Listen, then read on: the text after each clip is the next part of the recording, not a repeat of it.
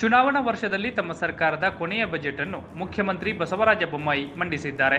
ರೈತರಿಗೆ ನೀಡಲಾಗುತ್ತಿದ್ದ ಶೂನ್ಯ ಬಡ್ಡಿ ದರದ ಸಾಲವನ್ನು ಮೂರು ಲಕ್ಷ ರೂಪಾಯಿಯಿಂದ ಐದು ಲಕ್ಷ ರೂಪಾಯಿಗೆ ಹೆಚ್ಚಿಸಲಾಗಿದೆ. ಸಿಎಂ ಬಸವರಾಜ ಬೊಮ್ಮಾಯಿ ಮಂಡಿಸಿರುವ ರಾಜ್ಯ ಬಜೆಟ್ನಲ್ಲಿ ಕಿಸಾನ್ ಕ್ರೆಡಿಟ್ ಕಾರ್ಡ್ ಹೊಂದಿರುವ ರೈತರಿಗೆ ಭೂಸಿರಿ ಯೋಜನೆಯಡಿ ಹತ್ತು ಸಾವಿರ ರೂಪಾಯಿ ಸಹಾಯಧನ, ಗೃಹಿಣಿಯರಿಗಾಗಿ ಗೃಹಿಣಿ ಶಕ್ತಿ ಯೋಜನೆ ಭೂರಹಿತ ಮಹಿಳಾ ಕಾರ್ಮಿಕರಿಗೆ ಮಾಸಿಕ ಐನೂರು ರೂಪಾಯಿ ಸಹಾಯಧನದ ಘೋಷಣೆ ಮಾಡಿದ್ದಾರೆ.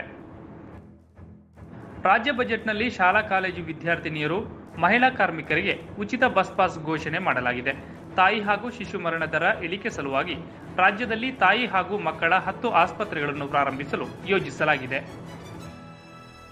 ಅಮೃತ ನಗರೋತ್ಥಾನ ಯೋಜನೆಯಡಿ ಬೆಂಗಳೂರು ನಗರದಲ್ಲಿ ಆರು ಸಾವಿರ ಕೋಟಿ ವೆಚ್ಚದಲ್ಲಿ ವಿವಿಧ ಕಾಮಗಾರಿಗಳನ್ನು ಕೈಗೆತ್ತಿಕೊಳ್ಳಲಾಗುತ್ತದೆ.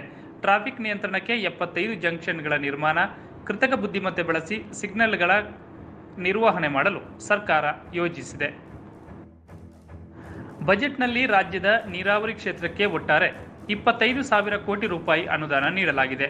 ಕಳಸ ಮತ್ತು ಬಂಡೂರಿ ನಾಲಾ ತಿರುವು ಯೋಜನೆಗೆ ಒಂದು ಸಾವಿರ ಕೋಟಿ ರೂಪಾಯಿ, ಭದ್ರಾ ಮೇಲ್ದಂಡೆ ಯೋಜನೆಗೆ ಕೇಂದ್ರದಿಂದ ಐದು ಸಾವಿರದ ಮುನ್ನೂರು ಕೋಟಿ ರೂಪಾಯಿ ಅನುದಾನ ಘೋಷಿಸಲಾಗಿದೆ.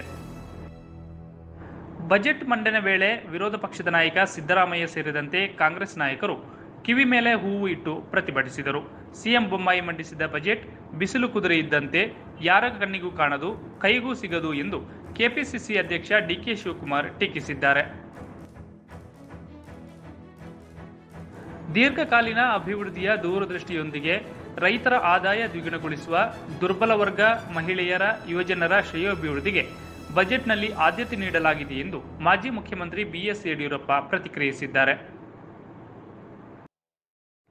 ಭಾರತದ ನಿಖರ ದಾಳಿಗೆ ತತ್ತರಿಸಿರುವ ಆಸ್ಟ್ರೇಲಿಯಾ, ದೆಹಲಿಯಲ್ಲಿ ನಡೆಯುತ್ತಿರುವ ಎರಡನೇ ಟೆಸ್ಟ್ ಪಂದ್ಯದ ಮೊದಲ ದಿನದಾಟದಲ್ಲಿ ಇನ್ನೂರ ಅರವತ್ಮೂರು ರನ್ಗಳಿಗೆ ತನ್ನೆಲ್ಲ ವಿಕೆಟ್ಗಳನ್ನು ಕಳೆದುಕೊಂಡಿದೆ. ದಿನದ ಅಂತ್ಯಕ್ಕೆ ಭಾರತ ವಿಕೆಟ್ ನಷ್ಟವಿಲ್ಲದೆ ಇಪ್ಪತ್ತೊಂದು ರನ್ ಗಳಿಸಿದೆ.